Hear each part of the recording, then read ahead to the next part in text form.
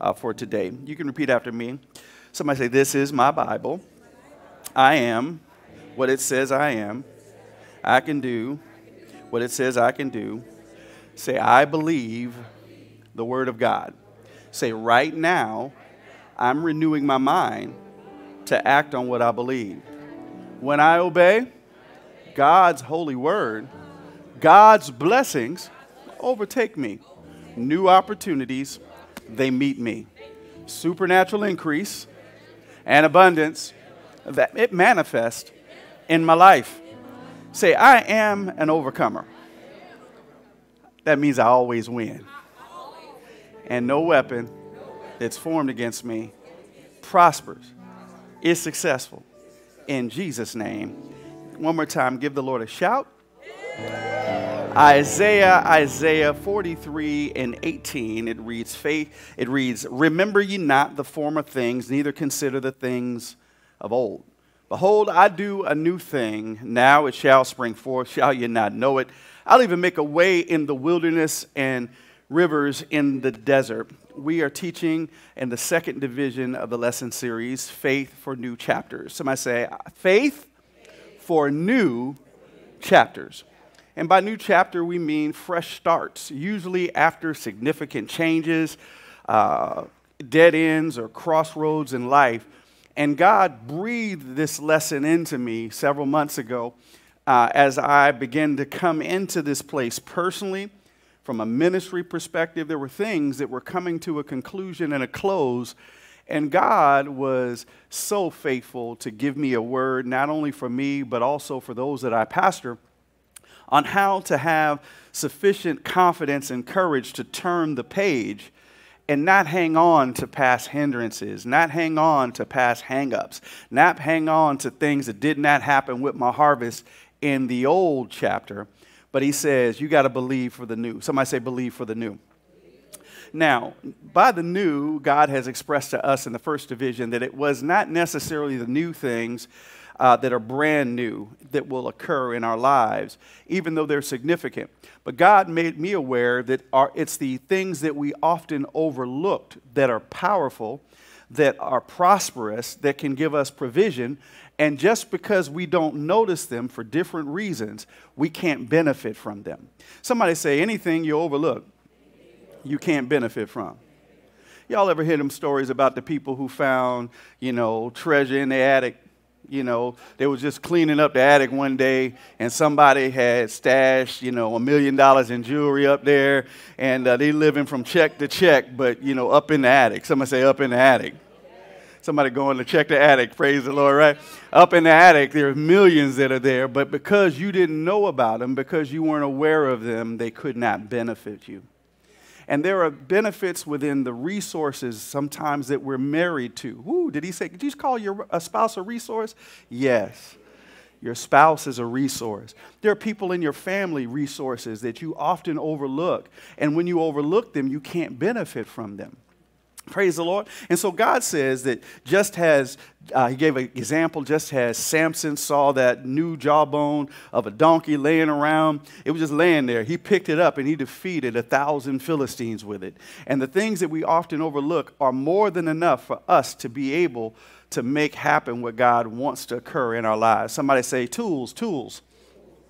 Now, we have an overarching prophetic word uh, for this year, this year, um, you know, that this is the year of validation. It's on the walls uh, and things like that. But as we came to a, conclu a, conclusion of this year, when God gave me the prophetic word uh, for, uh, the prophetic word for uh, new chapters, new chapters, if you can give me the new chapter prophetic word, I want to rehearse this very quickly as I link this to prayer uh, today. It says that this is a continued season and a new chapter. God says, uh, I've rele- I'm releasing an anointing for the new chapter of your life that will empower you to finish what you've started and receive the reward I promised you. Now, along with that, I am linking what my apostle, my pastor, uh, the prophet of my life, Apostle Hilliard, said uh, maybe a month or so ago. He said he had heard from God some things, and they really meshed with, just like they always do, things that he said to me. And this prophetic word that he said, it began to remind us of things that God was doing. Somebody say, in this continued season. Right? that there would be reciprocal manifestations of obedience in the kingdom of God that will yield amazing, timely results and set in motion future increase. Now, reciprocal manifestations of obedience in the kingdom of God. That simply means that God is going to give faith instructions to do certain things. And if we be willing and obedient, we'll eat the best and have the best that God has for us. And prayer is one of those things. But then also it said, he said that God is going to use divine connections, divine cancellations, divine concepts, and divine consecrations to cause the final quarter of this year to be the catalyst of the greatest yield of your faith all year long. Now we're believing that, but at the same time, anything that God says in his word, although it is a promise that is firm, a promise that is sure, sure, it's not a promise that's automatic. The will of God is not automatic. Now, I know that you might have heard, just like I did, God can do anything but fail. That's a lie. Because he can't lie. But we, we, take, we say he can do anything but, but, but he can't lie. There's lots, of, he can't go against his word. One of his words, he will not violate the will of man he gives us choice. Someone say, God gives us choice. He gives us choice on the most important factor of our lives, and that is the choice to accept His Son Jesus as our Lord and Savior. He does, although it's His will that none should perish, all should come to repentance. Y'all know, is everybody in the world going to be saved? And it's not because God's not fair. It's because people won't make the choice to receive the salvation that's been freely given. So, with that, I got to make sure you understand that every time we receive a prophetic word, we can shout about it, we can hallelujah to the heavens about it, we can run and dance about it, but it's still not automatic. We have to release our faith for it. Somebody say, if I'm going to receive the promises of God, I've got to release my faith for it. Now, in simplicity, family, with salvation, the Bible says with the heart, man believes unto righteousness. With the mouth, confession is made into salvation. And then in Colossians 2 and 6, it says, As you receive the Lord Jesus, walk ye therein. So if we receive Jesus, salvation, receive uh, fellowship with God, an eternal kingdom that He gives to us by believing in our heart and confessing with our mouth, then all of the promises of God are to be received by faith. So if we're believing for new connections, new consecrations, new cancellations, new concepts. If we're believing for the biggest fourth quarter we're going to have ever, I'm believing for double of what God has done from January to October. Excuse me, January to September. I'm believing for double. I'm double in my finances, double in the ministry, double everywhere. How that going to happen? I don't know. He didn't tell me to know. He told me to believe it but I've got to release my faith for it. So, with that, with that being said, I want to get into really, really quickly uh, this optimizing overlooked opportunities for increased message that we're talking from this type of focus. And we're talking about tools for increase. And I began to talk last week that prayer, the prayer of faith, is an overlooked tool for breakthrough. In James 5, and I believe it's 16 in the Amplified, it says, The earnest, heart filled, continued prayer of a righteous man avails much and makes tremendous power available, dynamic in its working. Praise the Lord. Amen. So, so with it, we're believing again that the prayer efforts that we combine and that we make corporately and individually are going to be the catalyst for the power that we need to receive the promise of God. Somebody say, God's empowering me to receive his promises. Now, on last week, and I can't rehearse the whole lesson uh, from last week, and so it's out there online. It's out there. You can get it absolutely free, free 99. But we talked about one of the reasons why prayer is important is because disappointment will rob us of our expectation and our hope. And just beyond disappointment is your deliverance.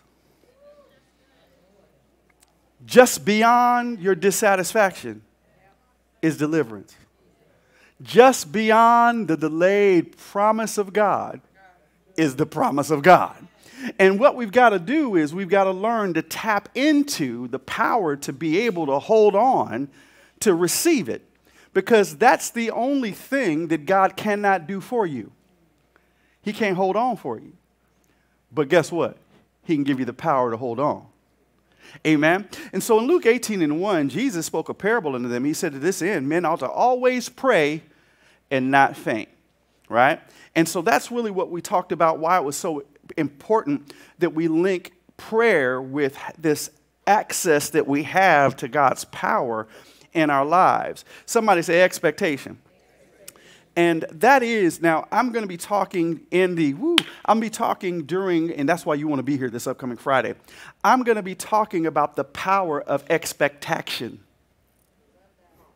Not expectation, expect action. Expectation. See, because to expect and not act don't do nothing. All you doing is waiting, not waiting on the Lord. You just there. But you got hope. and, and, but if you want to see your hope received, you got to put some action with it. So that's where expectation comes. Now, I can't get him a lesson, but, but that's what we're going to be talking about this upcoming Friday. Now, as we get into this, let me start from here. You know, the focus, and if you want to write this down, we're going to be talking about intercession, but specifically how to partner for effective intercessory prayer or partnering for effective intercessory prayer, right? And, uh, you know, as we talk and get into this established uh, uh, the established principles of intercession, go to Ezekiel 22 and 30.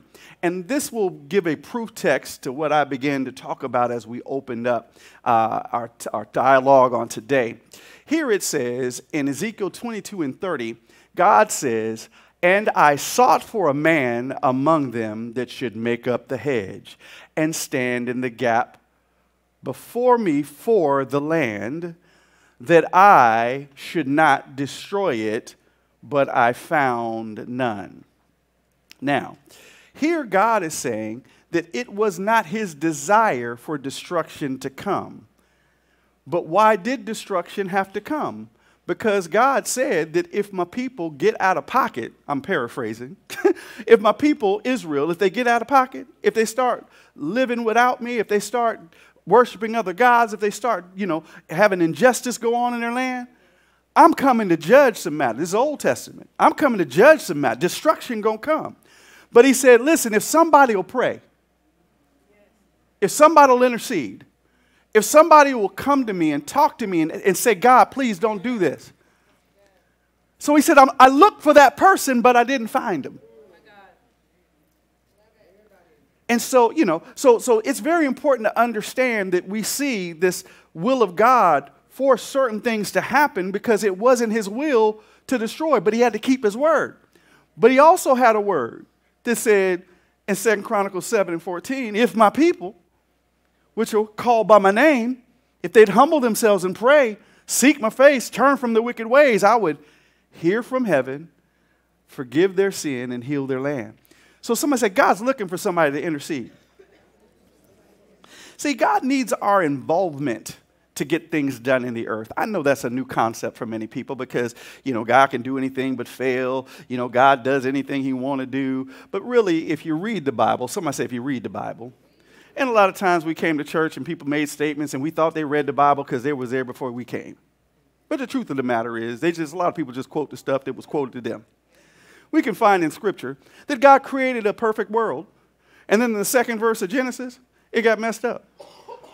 God created the heaven and the earth. Second verse, the earth was without form and void, and darkness covered the face of the deep. Y'all know God didn't create anything void.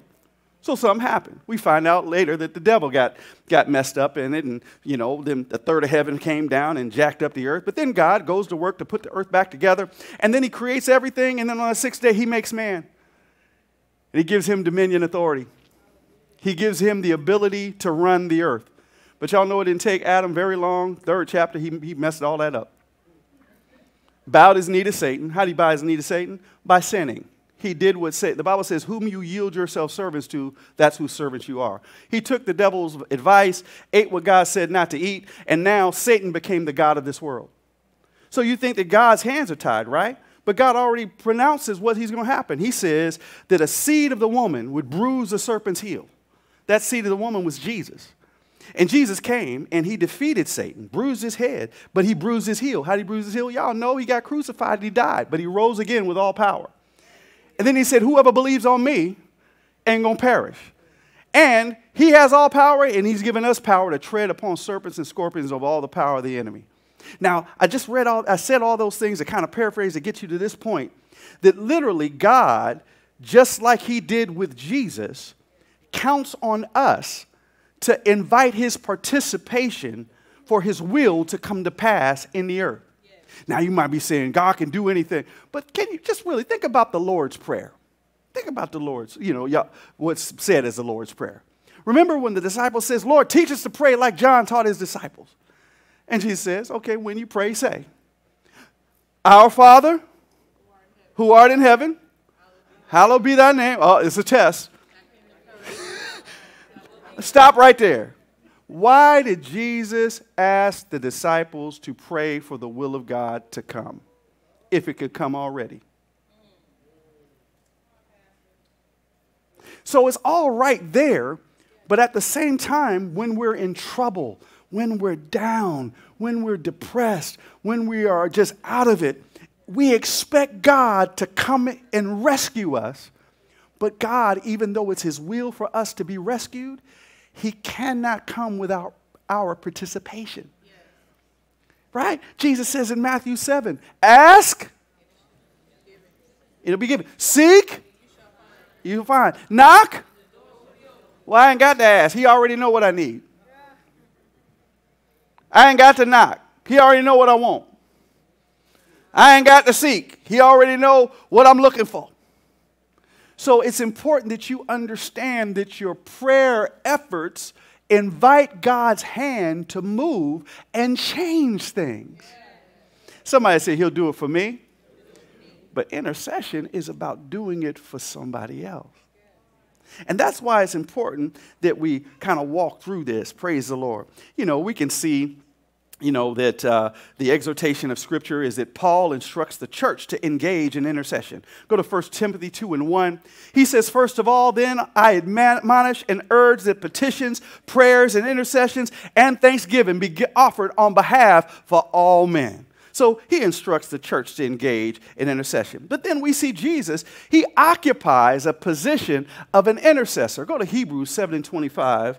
Hebrews 7 and 25. I believe it's the Amplified translation it says, Therefore he is able also to save to the uttermost, completely, perfectly, and finally, and for all time and eternity, those who come to God through him, since he is always living to make petition to God and to intercede with him and intervene for them. Somebody say, Jesus is an intercessor.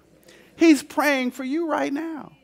He's praying for God's will to be done in your life. He's praying that you overcome challenges and strongholds in your life. He's praying for somebody says, He's just praying for me. Jesus is praying for me. But also, if, you know, the Bible exhorts us that if we will take on this role of intercessory prayer that there are supernatural benefits. Go to Job 42 and 10. I alluded to this a little earlier, but Job, y'all, would be, you know, and please understand, you ain't going through like Job. You know, all my people who think you're going through, I'm going through like Job. I'm having a Job experience. No, you ain't. no, you might be, I, I, I don't doubt that you feel like it, but all you got to do is read that scripture, and ain't nobody had all that happen. You know, but here's the deal. Here's the deal. Job's going through, and it's terrible when you go through, and the ones who you call friends basically tell you you the reason that you're going through.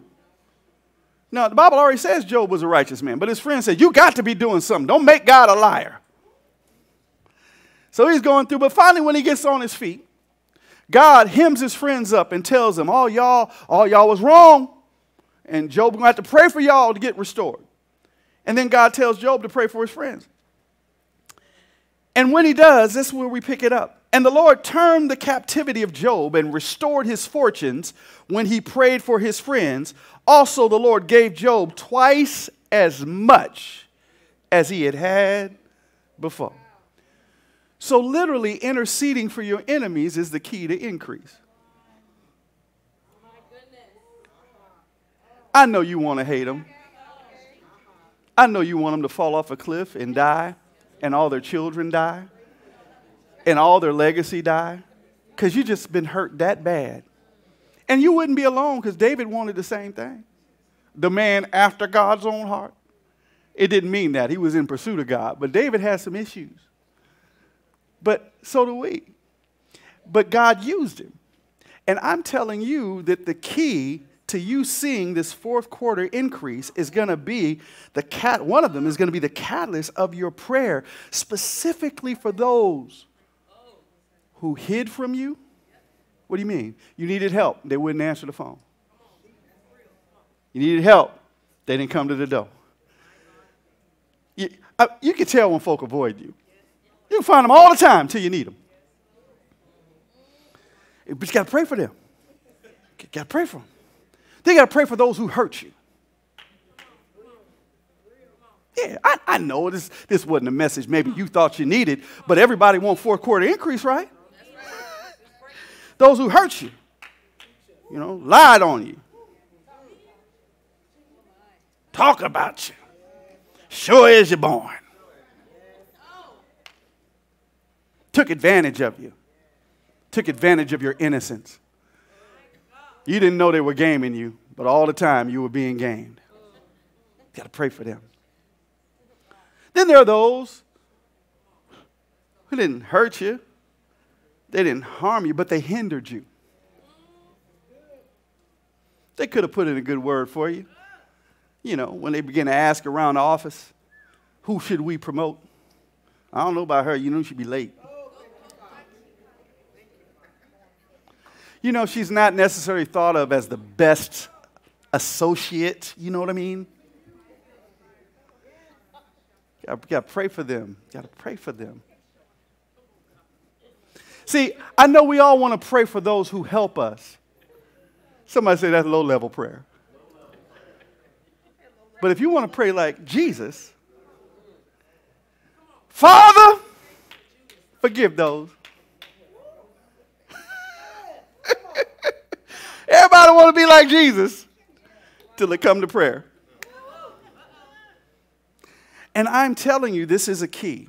Now, there are other examples, and according to Romans 15 and 4, it says, Whatever things that were written aforetime were written for our learning, that we, through patience and comfort of the scriptures, might have hope we see other instances of intercession that we also want to adopt. Like our church, our name of our church is based off of the centurion who came to Jesus in Matthew, I believe it's Matthew 8.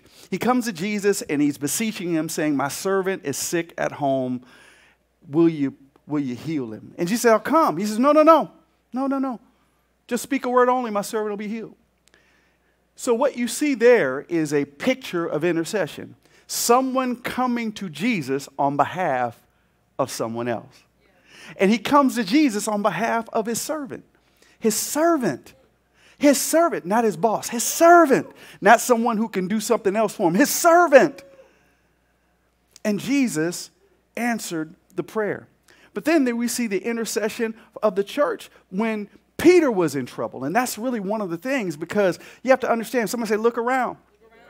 I know things could be well with you, but chances are that the third person that you count as you move from left to right is going through something right now. And sometimes we can, we can ignore the fact that somebody else is going through. I don't need to intercede because all is well with me. But we see when Peter got hemmed up in Acts in Acts 12 and 5, it begins to read Peter, therefore, was kept in prison, but prayer was made without ceasing of the church under God for him. And y'all know as they prayed, an angel ends up. Peter was so Peter was at rest. Number one, Peter wasn't freaking out. He was asleep. He, he was so asleep, he was naked, laying between two soldiers. They're praying, the angel comes and hits him on and had to hit him to wake him up. He said, Peter, put your clothes on. We, we leaving. And Peter didn't know it was a dream or not. He's, following, he's, he's walking through door and gate after gate. And then finally, he comes and knocks on the door. And they're praying so fervently that they didn't even believe it was Peter. Personal note God said that when we begin to intercede with passion like that, he will answer our prayers so fast, we won't even believe that it, was Him that did it yet. Well, somebody knocking, they say it's Peter, but he in jail. Somebody say expectation. And so that's what we want to do because the Bible says in 1 John 4 and 17, Herein is our love made perfect that we may have boldness in the day of judgment. For as he is, how Jesus is, that's how we in that's how we are in this world. Somebody say, I'm gonna be like Jesus. I'm gonna be an intercessor. It's therefore established that we should be praying for one another. That's why it is an emergency. It's an emergency. It's an emergency. When you see the word emergency on ambulances, it's in red in big letters. When, when you see the emergency at the hospital, there's something obviously that's going on where life is in danger. And right now, we are in a position where lives, spiritual and natural, are in danger.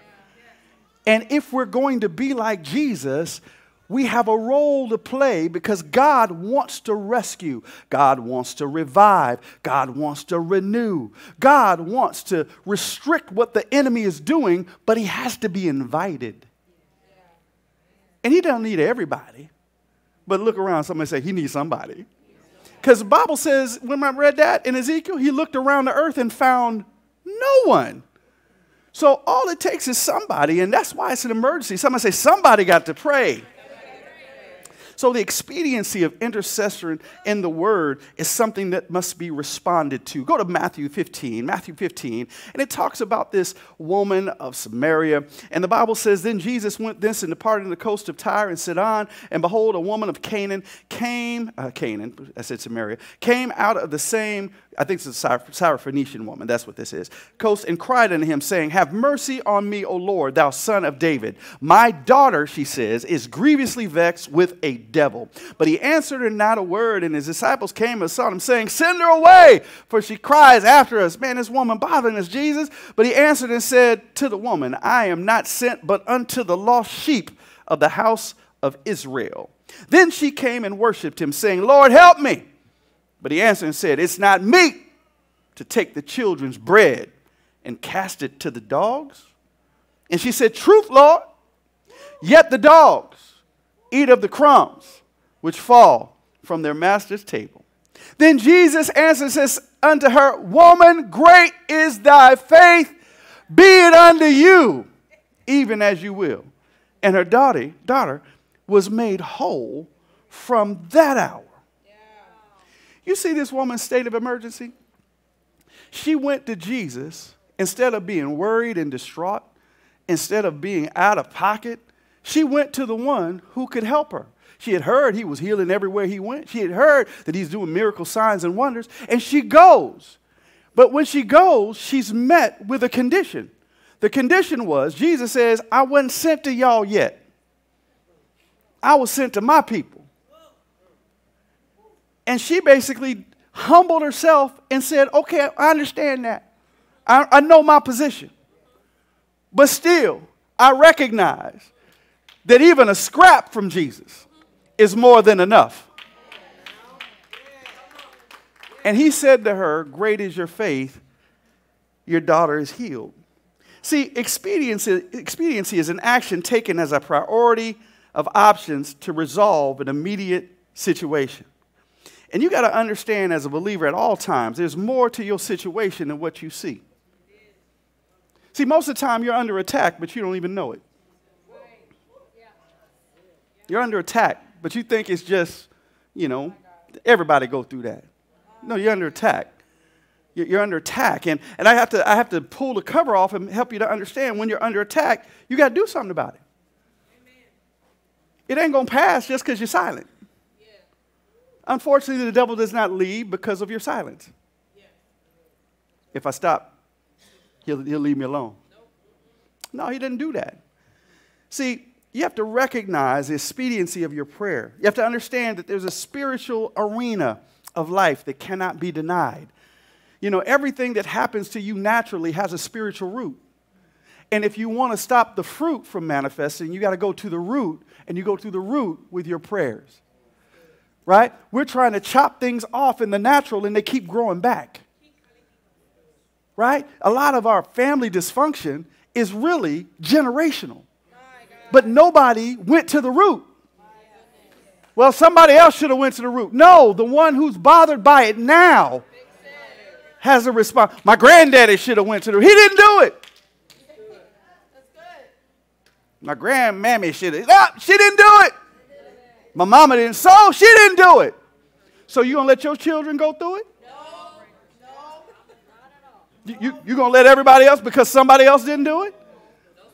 Well, it's not fair. Oh, yes, it is. Because he who prays for it is he who receives double for it.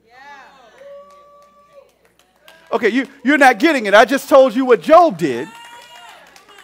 And, and so, yeah, it's a spiritual arena that, that can't be denied. Understand there's a spiritual attack. It can be devastating. I don't doubt the negative things that are happening are terrible. But also, there's a spiritual action that causes God's deliverance. And prayer is, again, that key. And there's a spiritual ally that is dependable. Now, the sovereign reliance on prayer dictates that we be expedient. You know, God says, if my people, which are called by my name, will humble themselves, then he begins to show up.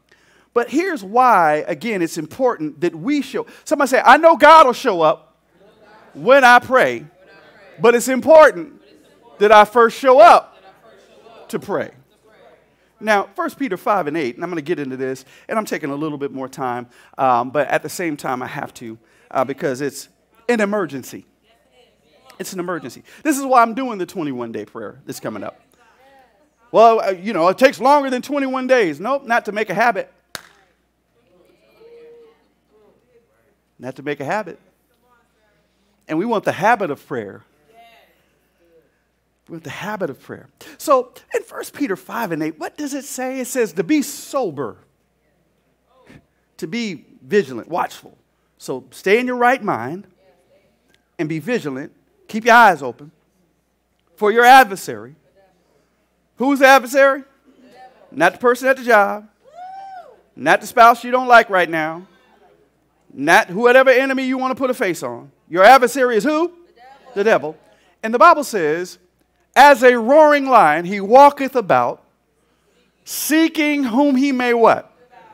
So he's looking for the person who is vulnerable and weak.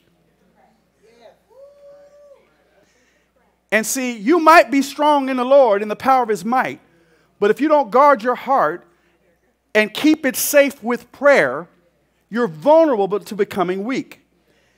And weakness is usually the place of attack where you do things that you would not normally do.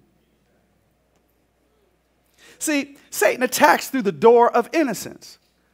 You know, number one, you know, a lot of times we get hurt because we had our guard down because the person who cared for us shouldn't have been the person who preyed on us. I'm talking about child abuse, spousal abuse. Man, you know, all that stuff, and, ha- you know, again, and again, this is what I'm saying. Some stuff is generational. But because of because of shame and all kind of situations, like anybody else, ain't, nobody else had this happen. But you think you're gonna be diminished because you pray and seek help and deliverance from it. But the whole thing is, again, innocence is how that door gets open. And then once it gets open again, now it has now smeared this person to go. And those who are abused, if they are not delivered, become abusers. Then there is Satan coming through the door of intention. You know, intention is you think you're strong enough. You can drop it when you feel like it. I'm talking about them habits. you, you know, yeah, this drug, this, this don't control me. I can quit when I want to. I'm talking about my weed heads right now. Yeah, I know it's legal in Denver, Washington. It ain't legal here yet. It's recreational, but I, I, man, I'm getting out the car so much, especially with these young people now, man. And I'm telling you, I'm catching a contact at the car wash. Y'all know what a contact is? That's, that's when you start getting high from somebody else's fumes. But at the same time, it's a habit. And all I do, all you have to do is, well, it, it's, it's not harmful. It calms my nerves. I thought Jesus was a Prince of Peace.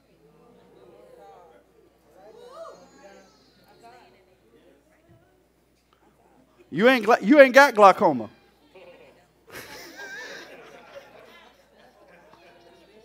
I'm, I'm meddling now. You know, and then see, you gotta, Jesus, I'm taking my time. But see, dabbling is what does you in. I know I was just so country. Dabbling is what does you in. And see, the enemy, he tricks you into thinking that just because you dabble, just because you get a little taste every once in a while, that ain't a problem. But truth is, that opens the door to temptation. And once you walk into the door of temptation, it'll take you in there. You'll stay longer than you wanted to stay. You'll do more than you thought you wanted to do. But see, this, this part where you think you can stop when you want to, that's just a lie. He does it with pornography. All of this on a prayer message? Yes. Because these are the ones that this is what we need to be praying about. Well, I don't do it all the time. But you don't want it visiting every three months. See, if, if it visits every three months, it's a habit. I don't do it all the time. And see, here's the thing. If you might have had the door opened in innocence, I could even say like I did. You know, I, I was exposed to pornography probably at the age of uh, 11 or 12 by my uncle. 11, 12, you know. And again, that thing is devastating. Here's why it messes up the reward centers of your brain that cause you to crave it to fulfill and make sure that you get, you, you get your, your, your little opiate rush. And you don't realize it's, it's that, that that's what's called. And here's the thing if you're not careful, it'll stay with you. But part of it is call it out. You just saw what I just talked about. I ain't got no shame. I ain't, I ain't do, I ain't watching porn, but I used to. But y'all remember the things that you used to do, that's what we say. We don't. But some of y'all still doing them. And we want the power and promises of God. And we think that grace gets us by. Grace does get us by. But, oh God, go to Jeremiah 5 and 25. I had to deal with this right quick. Because the grace message, you, you, so many people pervert it. The grace message does not mean that God doesn't want us to be holy. The grace message simply means that God understands that it took something that He had to do to get us delivered from it. And that shed blood gives us space within the grace to get ourselves together, not to save us, but to please Him. See, you thought doing right got you to heaven, but doing right pleases the Father. Yes. Jeremiah 5 and 25 says, Your iniquities, hidden sin, has turned away these things, and your sins have withholden what? How many people you want four quarter blessings? This is this is the road. Well, other people got blessed and they they they trifling. Who told you that was a blessing? Who who who? Did God tell you that was a blessing? Some people get blessed out of talent and manipulation. Some people steal good. I didn't say feel good, still good. Satan attacks through the door of ignorance. You're just totally unaware, and so you dial in the psychic hotline. Y'all ain't calling Cleo. I don't know if she's live or not now, but you still Capricorning and Sagittarius and what star were you born under? And then you try to get biblical. Jesus was born under a star.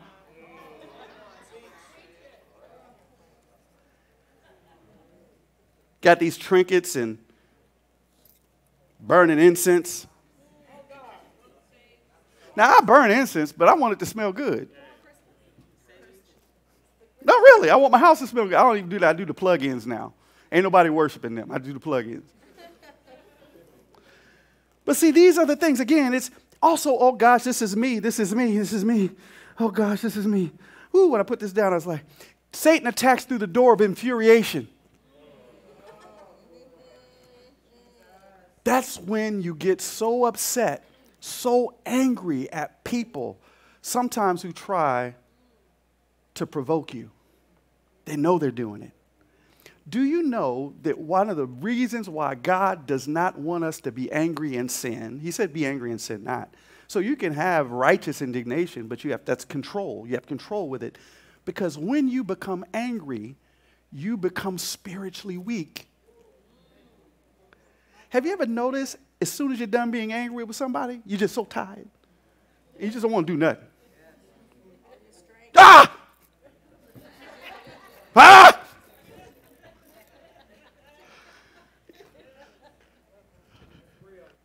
Some people get so angry they pass out.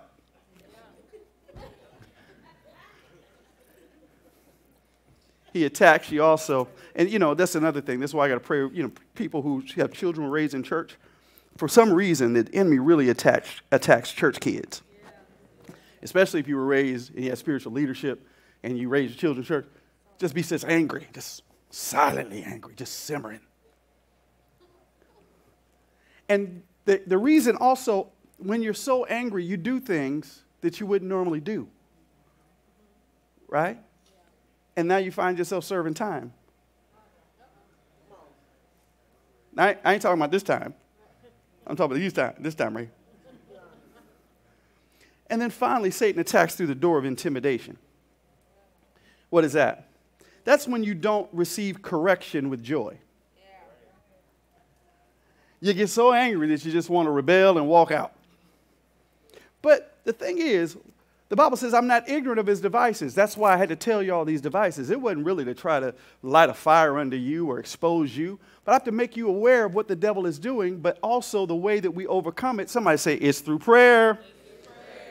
Endurance. Endurance is the stamina and strength of character to hold a predetermined course without wavering.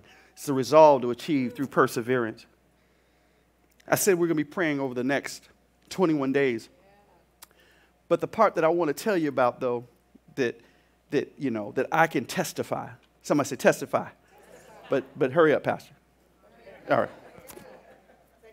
See, I stand before you a person who was incredibly immature, um, who was trifling, who was undependable. And I'm mentioning all of my faults all of them I had a reason for. Somebody say, so? the condition that I was in, unfortunately, God tells my wife, my future wife, Angela, at the age of 16, 17, that I was to be her, I was going to be her husband. He never told me that. He told her that. And she had to pray for me because the package that God said was her present presently did not look like something she wanted. So she had to intercede for me. And she interceded for me, and I came to myself and I got saved.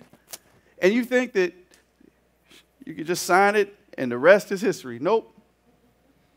The fool that I was is the fool I still became because I, I wasn't consistent in my walk with God. And she prayed for me. You know, I found out later that there were times that I'd be sleeping, and she'd put oil on my head.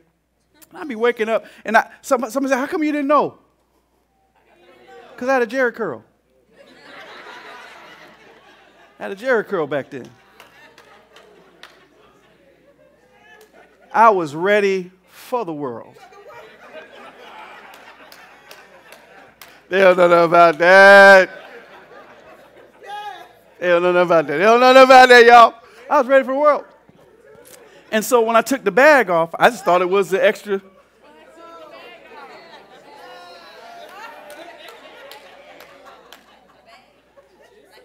So she was, she was putting oil on my head and praying and interceding for me and praying and interceding for me. And God told her one day that I would be a pastor or a minister, and he had, God never told me none of that. She's praying for me. And God told her one day that I would be rich and I would, I would be a benefit and a blessing to her, our family, and everyone else. And he didn't tell me none of that. But she prayed for me. And I'm saying this to say you, say this to you. See, when God begins to talk to you about the people that he wants you to intercede for, most of the time they're not in the package presently that you want to receive. But if you'll believe God and become their intercessor, I'm telling you, God is faithful and He will deliver. He will transform. He will change. And He does it a lot of times, just like the church who prayed for Peter. They were praying for him and praying for him. And then one day. Peter's knocking at the door. I'm here. It can't be Peter. They, they about to kill him. He. And that's what happened to me. One day, God arrested my heart. And it wasn't because of this person. I, there might have been other people, but I know she was praying for me. There might have been other people. I, I, I, tell you, I receive all the prayers, but I know specifically she interceded with me or for me, but the reason she did it was she believed the promise. Yeah. See, sometimes the people that God has called you to pray for, the enemy the enemy will try to convince you to pray on them because you you tired. you tired of their mess. You tired of this ain't changing. You tired of all of this different stuff. And God says, if you'll hold out and pray. And because she prayed, y'all think I'm just telling this for nothing. Stands before you a pastor oh. in the Lord's church that thousands have been saved and delivered and transformed. You would not be here unless her intercession happened. Now, see, I don't have every pastor's testimony. When I give her honor, that's really one of the reasons I'm giving honor because the reason that I am the pastor that I am is because she took the role of an intercessor seriously. Who does God want to change through your prayers? That will change generations. That'll be there in your future. Who, what does God want to do? I'm telling you, He wants to do exceeding abundantly above all you can ask or think. Everybody standing all over the building. I know that this message doesn't have you running the aisles. But if you can picture in your future, when you receive everything that, you got, that God promised you, you're going to be wanting to run around.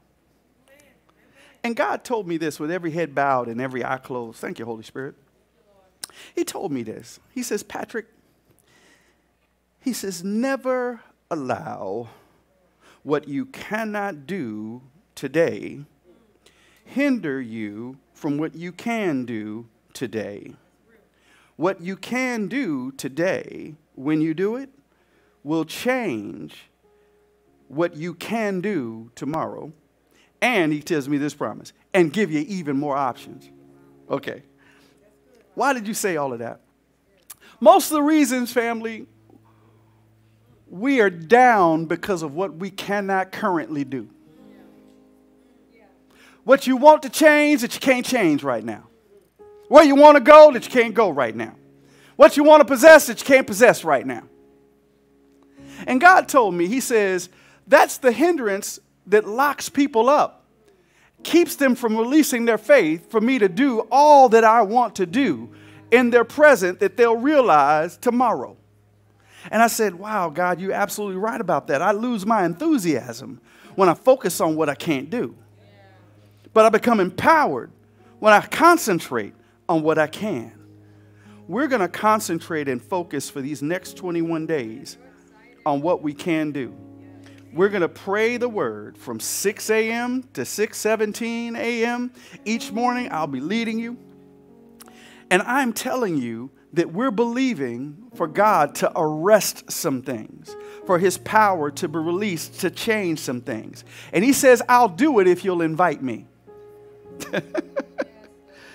I'll do it if you'll invite me with the expectation of prayer.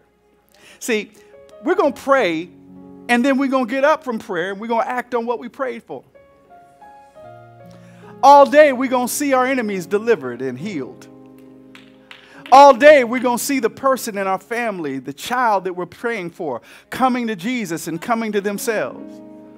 All day we're going to see the things that we need to be changed in our finances or our health we're going to see them and we're going to watch God work and it's going to be done. So, Father, in the name of Jesus, we receive this message of faith and we commit to becoming your prayer intercessors, realizing, God, that it's our role. But, God, I thank you that you give a benefit for those who will pray. In Jesus' name. Give the Lord a great big hand praise.